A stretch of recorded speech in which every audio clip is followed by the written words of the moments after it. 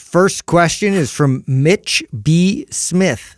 What are some ways to improve mind muscle connection? You know, the, the mind muscle connection is something that bodybuilders talk about uh, all the time, right? It's being able to feel a muscle, a target muscle through uh, the you know range of motion, a particular exercise.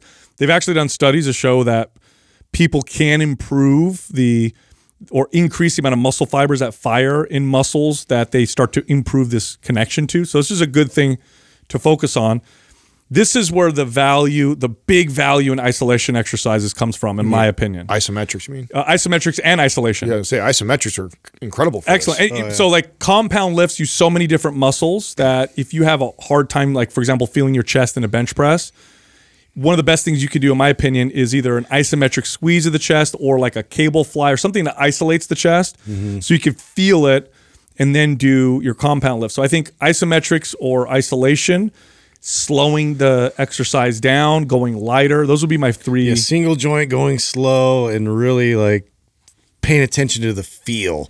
Uh, the first time I read this question, I remember like uh, was it The Rock, where it's just like focus. Yeah. You know, he's like, like just yells it out in the gym. But I think that people don't realize that's a major factor. Like we just kind of get in the rhythm and we get in the momentum of of moving and exercising, and we don't really pay attention Totally. uh, you know, to what's at hand. And also, too, if if there is like a, a lagging body part or there's a lack of connectivity, you can increase that by simply, you know, really hyper focusing on the squeeze and you know getting uh, you know that recruitment process like more honed in on. The only thing I would add to what you guys said is practice. I mean, when you think about an athlete who gets really good at throwing a ball, he gets re- that's that's improving your mind muscle connection. The ability to throw a perfect spiral super hard, like Tom Brady does with the accuracy.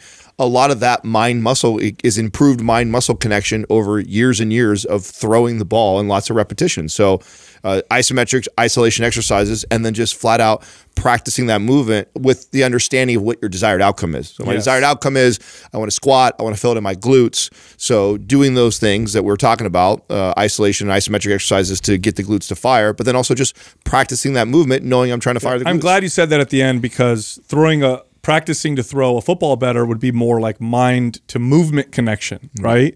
Versus mind to muscle, which mind to muscle isn't doesn't necessarily mean better movement. Like what I mean by that is a power lifter is constantly focusing on how to improve the efficiency and the leverage of a squat. They really don't care if they feel in the quads, glutes, hams. It's like, how can I squat more weight? How can I improve the skill of my squat so I can lift more? Versus someone who's like, man, I want to really build my butt. I can't feel my butt. It's not so much about using more leverage or it's really about feeling the target muscle, which is a different Creating feel. muscle tension. But prac like you said, Adam, practicing the connection often, right? So, like if you have a poor connection to a muscle, every time you train this muscle with all the exercises, that should be the focus. Can I feel it? Can I feel it? Can I feel it? Not how much weight you lifted, or you know how you know how great your performance was. Rather, how much better can I get this muscle to? and even connect? when you're not exercising, right? So that's what's great about things like trigger sessions. If you are Yeah. practicing just activating that muscle, even with no resistance, Totally. is only going to make you better with that mind muscle connection. Hey, if you enjoyed that clip, you can find the full episode here, or you can find other clips over here. And be sure to subscribe.